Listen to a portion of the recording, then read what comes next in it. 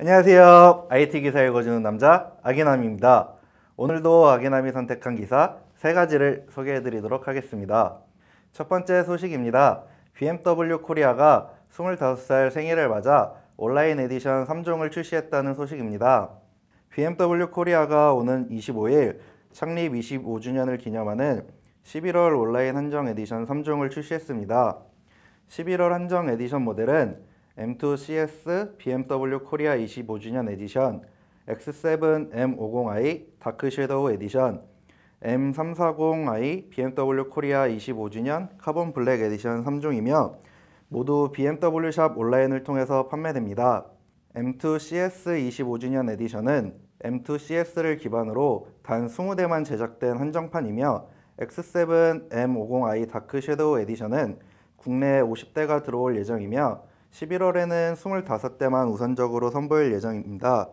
M340i 여섯 번째 한정판인 M340i BMW 코리아 25주년 Carbon Black Edition도 25대로 한정 출시된다고 합니다.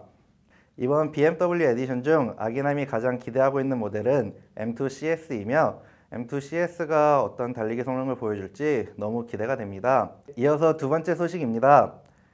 글로벌 게임사 EA가 베컴에 웃고 즐라탄에 울었다는 소식입니다. EA가 간판 축구 게임 피파 21의 초상권 문제로 울고 웃었다고 합니다. 택배 크로스로 불리는 데이비드 베컴이 피파 21에 복귀한다고 하는데요. 2018년 베컴이 Winning 11의 코나미와 초상권 독점 계약을 체결하면서 피파에서는 볼 수 없었는데요. 베컴이 코나미와 계약이 종료되는 올해 EA와 계약을 체결했다고 합니다. 그러나 즐라탄 이브라히모비치가 EA 측에 초상권 침해 의혹을 제기했다고 하는데요. 즐라탄은 자신이 국제 프로축구 선수협회의 일원인 것은 알지만 이름과 얼굴을 사용해도 된다고 한 적은 없다고 전했습니다. EA 측은 1993년 첫 타이틀 발매 후 매년 국제 프로축구 선수협회와의 계약을 통해 선수 이름과 초상권을 사용해 왔는데요. 약 27년 만에 법정 분쟁에 휘말리게 생겼네요. 많은 선수들이 질라탄 선수의 의견에 동참하고 나섰으며 수십 년간 사용된 시리즈를 감안해 보면 초상권 비용으로 천문학적인 비용이 발생한다고 합니다. 축구 게임의 양대 산맥 중 하나인 피파가 이를 어떻게 풀어나갈지 지켜봐야 할 것 같습니다. 벌써 마지막 소식입니다. 한국 시리즈를 우승한 NC 다이노스의 집행검 세레머니가 해외에서 엄청난 이슈를 불러일으키고 있습니다. 창단 9년 만에 첫 한국 시리즈 우승을 차지한 NC 다이노스 그들이 선보인 집행검 세레머니가 해외에서 KBO의 우승 트로피로 오해하는 일이 생기면서 찬사가 쏟아지고 있다고 합니다.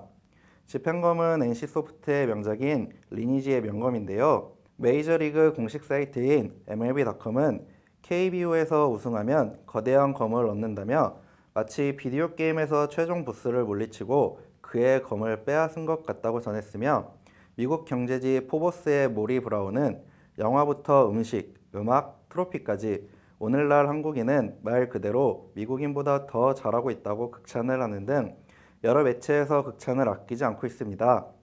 한편 집행검이 트로피가 아닌 리니지의 게임 아이템이라는 사실이 알려지며 해외에서 리니지에 대한 관심이 높아지고 있다고 합니다. 아기남도 리니지를 즐겨 했었는데요. 한때 사람들 사이에서 집행검은 집을 팔아야 살 수 있다고 해서 집한검이라고 불리기도 했었습니다. 택진이 형, 아기남도 집행검 하나만 주시면 안 될까요? 오늘 준비한 소식은 여기까지이며 자세한 내용은 블러터 홈페이지에서 확인하실 수 있습니다. 내일도 다양한 소식이 궁금하시다면 구독과 좋아요, 알람 설정까지 부탁드리겠습니다. 내일도 다양한 소식으로 찾아뵙도록 하겠습니다. 지금까지 아기남이었습니다.